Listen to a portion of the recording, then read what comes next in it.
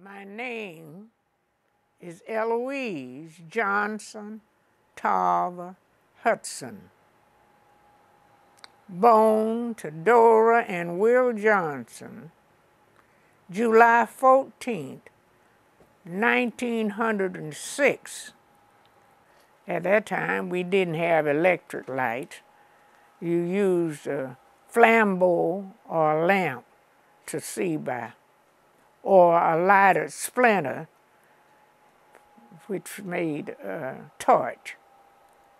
That's what you saw by. How did your mother make a living and how many children did she have? She had two children at the time. And she made a living for us by cooking what they call in service for the white people. Go and cook breakfast and dinner, and then she come home, see about us. What else? Well, you grew up in a time where there wasn't a whole lot of opportunities for African Americans. How did you feel about that? Well, I thought I was happy because I didn't know any better.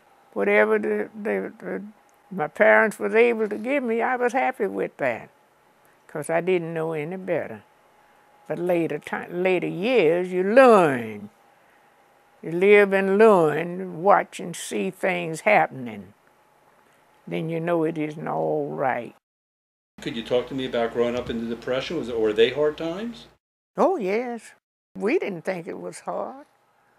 We thought that was the way it's supposed to be.